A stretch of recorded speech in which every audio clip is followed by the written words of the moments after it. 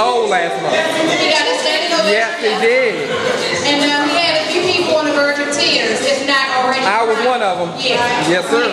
Yeah. That's how powerful his story was. So let's see. Um, I don't want to put too much pressure on him, but Yeah, yeah, not too much pressure. I mean, I was excited when you walked in the door and signed the list. So, ladies and gentlemen, uh,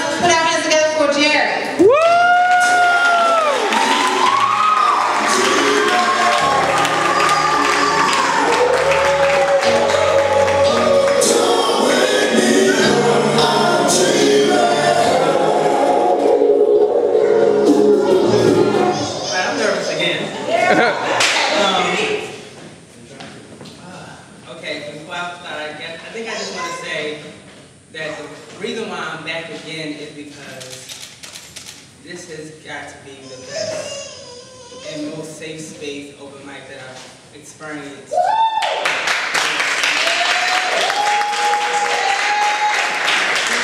I appreciate the love here. I, I just appreciate the energy. And I think I'm so nervous here because everyone who hits this stage is fantastic. Like every single person is just really, really great. So I'm nervous. Okay. Um, but it's okay. So if I mess up, get mad at me because I'm nervous. Um, and last time I did a piece about love, and so I guess I'll this time I would show my love for alcohol.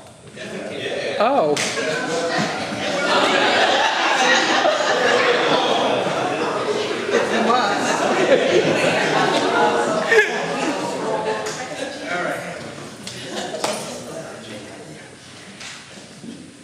Hello, my friend. I used to only see you on weekends. I'm starting to see you every day now. You look good as usual. Everybody craving you at the bar, waving dollars and visas to get a taste of you, but they don't have the relationship you and I have. I admire you. Figure out exactly how I want you, and you can have my last dime because I love what you do to me. You gonna dance with me, bro? See, I always know the beat, and I'll be careful not to waste you. We have a connection. I come to you to take my mind off things, and you do it. So how do I want you? Straight on the rocks, shaking the step, light or dark.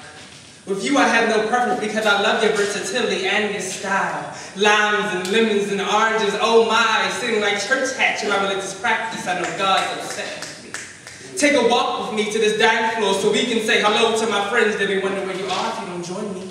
You and I, the cutest couple, heck, I can't have fun without you. You give me the energy to focus on the now, to enjoy this moment with you and my lips plan to.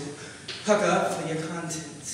Smile to you, tell you that you taste good. You mean so much to me. You're always there for me. And even when you make me sick, I just dissolve the alka-seltzer because you believe the constant pressure, the depression that lost love is placed on my heart. And although just like them, you're no good for me, I keep coming back to you. You're killing me physically like they did emotionally. Me committing martini suicide because the pain is too much to endure.